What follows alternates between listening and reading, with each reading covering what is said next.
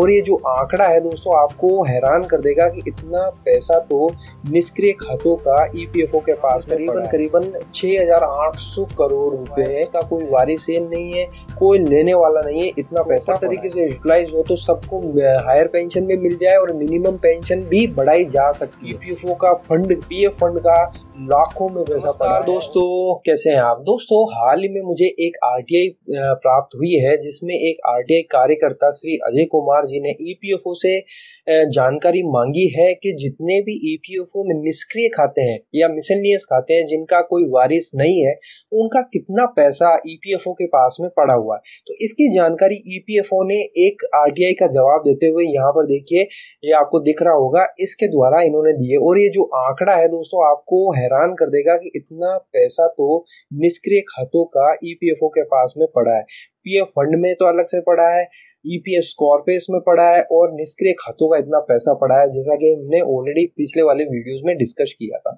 यहाँ पर थोड़ा सा आपको ये धुंधला दिख रहा होगा, क्योंकि जैसा मुझे आरटीआई प्राप्त हुई, वैसा ही मैंने आपके सामने इसको प्रेजेंट करने की पूरी कोशिश करी है। तो चलिए इसको हम देखते हैं कि आखिर इसमें ऐसा क्या आंकड़ा है जिसको ईपीएफओ ने जारी किया है। तो यहाँ पर देखिए ये श्री अजय कुमार बत्रा को इन्होंने जवाब दिया है, जो जयपुर के रहने वाले हैं। विषय है सूचना का अधिकार अधिनियम 2005 के तहत मांगी गई सूचना की आपूर्ति। अब यहाँ पर देखिए, जो मेन क्वेश्चन है जिन्होंने जिनके, जिन्होंने जानकारी मांगी थी कि वर्ष 2022-23 की रिपोर्ट के अनुसार मिसलनियस बंद खातों में सदस्यों का कितना पैसा जमा है?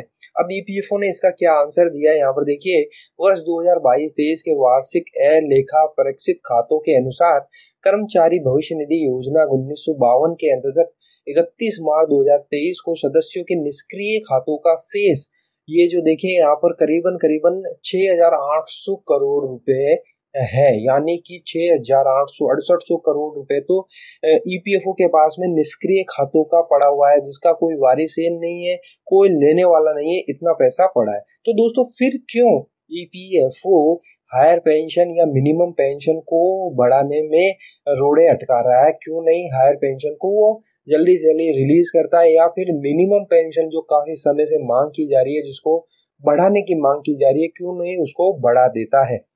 ईपीएफओ बार बार यही सुप्रीम कोर्ट में या अन्य जगहों पर ये हवाला देता है कि ईपीएफओ लॉस में जा रहा है, उसके पास में पैसा नहीं है। तो ये पैसा फिर कहाँ से आ रहा है? जैसा कि हमने पिछले वाले वीडियोस में डिस्कस किया था ईपीएस कॉर्पस जो है वो ही इतना है और ईपीएस का जो प्रॉफिट है, वो इतना ज़्यादा है कि अगर वो प्रॉपर तरीके से यूटिलाइज हो तो सबको हायर पेंशन में मिल जाए और मिनिमम पेंशन भी बढ़ाई जा सकती है।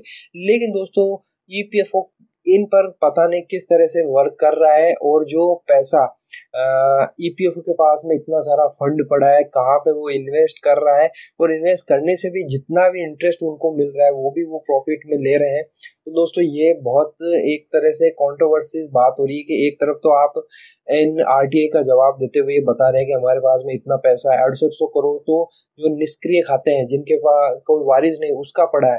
ईपीएफओ का फंड पीएफ फंड का लाखों में पैसा पड़ा है और इसके अलावा ईपीएस कॉर्पस में भी लाखों का पैसा पड़ा है, फिर भी हायर पेंशन की जो डिमांड एक साल से अभी तक जो है ईपीएफओ ने सॉल्व नहीं करी है। डेट बाय डेट बढ़ाते चला जा रहा है और जो इंटरेस्ट का उन्होंने जो हवाला दिया था कि जो पेंशनर है, उनसे तो वो इंटरेस्ट लेंगे जब से जो हायर पेंशन देनी है। इंटरेस्ट वो लेंगे, लेकिन जब इंटरेस्ट देने की बात आई है तो ईपीएफओ ने इसके बारे में हाथ खड़ा कर दिया है कि नहीं, हम इंटरेस्ट नहीं देने वाले हैं। तो दोस्तों, ये मुझे लगा कि आरटीआई का जो जवाब है आपके सामने ज़रूर आना चाहिए ताकि आपको पता चले कि ईपीएफओ के पास में इतना पैसा होते हुए भी क्यों वो ना नुकुर करता है, क्यों ना मिनिमम पेंशन को बढ़ाता है और क्यों ना हायर पेंशन की जो डेट वो डे बाय डे आगे किसकाते चले जा रहा है और इंटरेस्ट जो उसे देना चाहिए, अगर वो ले रहा है तो उसे देना भी चाहिए। इसके बारे में क्यों ईपीएफओ जो है कॉन्ट्राडिक्टरी बात सामने रख रहा है? तो दोस्तों, ये थी वो आरटीआई जो अजय कुमार पात्रा जी ने मांगी थी ईपीएफओ से और ईपीएफओ ने इसके बारे में जो जवाब दिया है, अड़सठ सौ करोड़ रुपए तो निष्क्रिय खातों का पीएफ के पास में पड़ा हुआ है। तो दोस्तों आई होप आपको ये जानकारी पसंद आई होगी। पसंद आई हो तो लाइक कर दीजिएगा और इसी तरह की इंफॉर्मेशन वीडियो प्राप्त करने के लिए चैनल को सब्सक्राइब करके बेल नोटिफिकेशन को ज़रूर हिट कर देगा तो फिर मिलते हैं, तब तक के लिए अपना ख्याल रखिएगा। Thank you very much